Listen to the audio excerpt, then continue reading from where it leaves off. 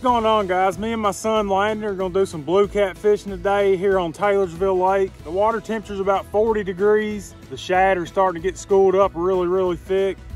I know a lot of people struggle to catch gizzard shad in this cold water, but if you use your electronics, it's actually one of the easiest times of the year.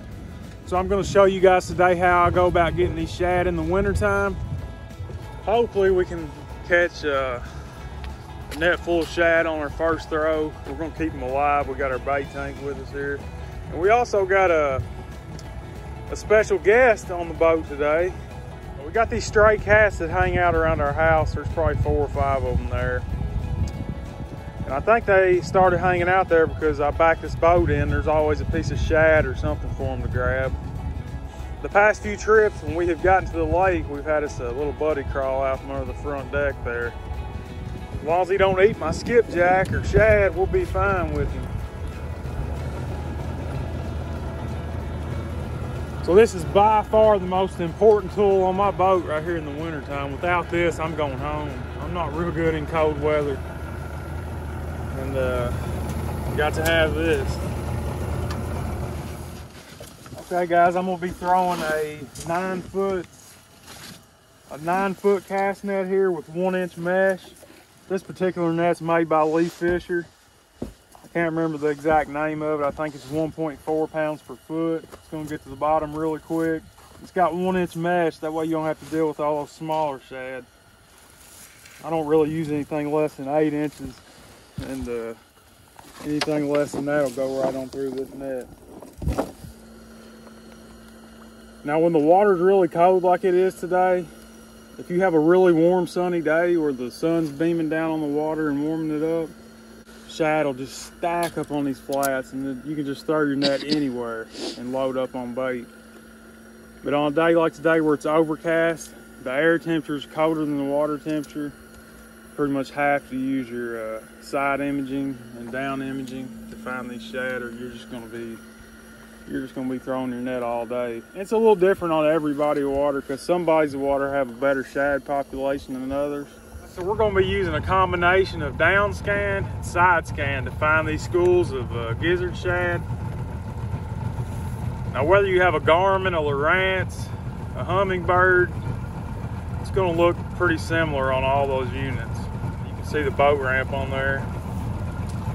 We're just gonna cruise around on this flat and see if we can locate some uh, schools of gizzard shad. And if that doesn't work, we'll head out to some deeper water.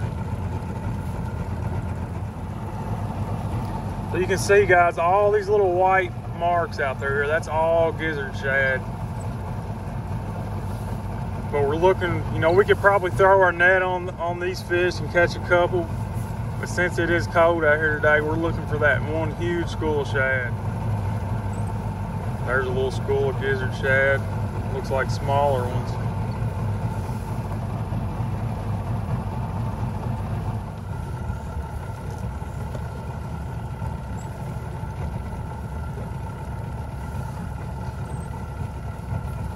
There we go, guys. That's what we're wanting to see right there. A huge school of shad, and they look like they're really thick.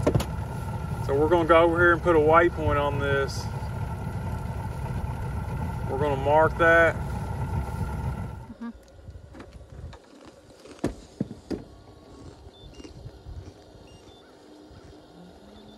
All right, Landon, I need you to go back to the screen and tell me when you start seeing them come up. All right. I know about where they're at, but not exactly.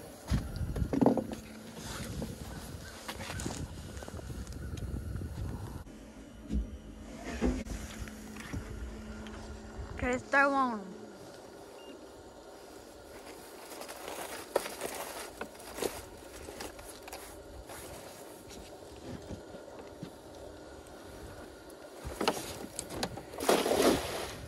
Hopefully, we just loaded up on bait.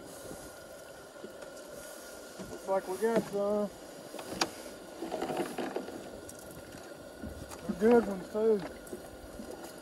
We got about seven, six. And we got a red horse sucker in there. Wasn't expecting to catch that in the middle of the lake. Now we weren't directly on top of that school or we would have caught three times that many.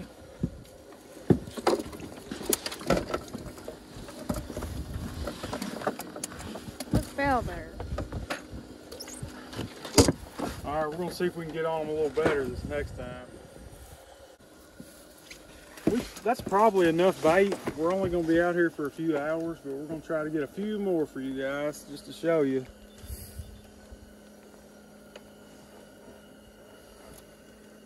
Just working that side scan and when we see a big school on side scan, we're doubling back, spinning the boat around and trying to get the net on them before they're gone. But there's definitely some nice shad up in here. There's some coming up on the right. Or look at the left right there. It's a big pile of them on the left, 70 foot out. So we're gonna turn the boat straight towards them. Kind of eyeball what you think 70 foot would be.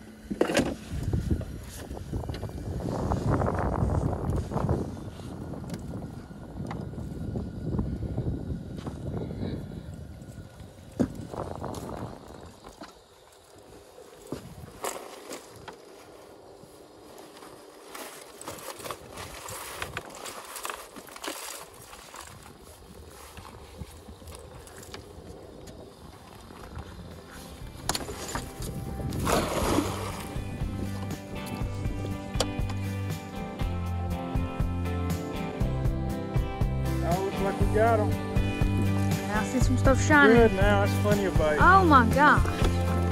Yeah, I see them shining up in there. That's what you're looking to do right there, guys. Oh my gosh. I like to dump them straight into the tank, but when you get a net like this, I don't want to keep all these, so I'm just going to sort through and get the bigger ones out. Don't look like we got any suckers that time, but yeah, guys. So just like that, we've got bait. Well, we could probably fish all week with this much bait. But like I said, we're not going to keep them all. It'd just be a waste. Just going to keep the big ones. But that's how you use your side scan, guys, to load up on bait. Summertime, you know, you can catch shad about anywhere.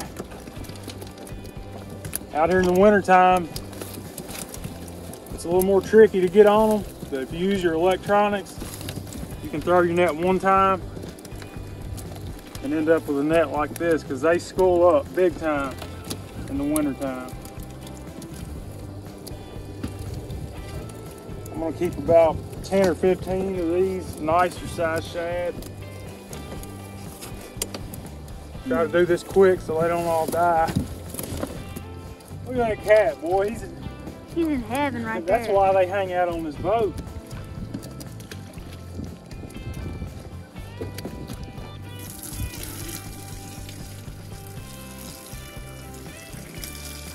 Hopefully you guys learned something from this video. Hopefully it'll help you guys out next time you're out on the water. Uh, as always, I want to thank you guys for watching. Be sure to subscribe so you don't miss the next one. God bless you guys. We'll see you in the next video.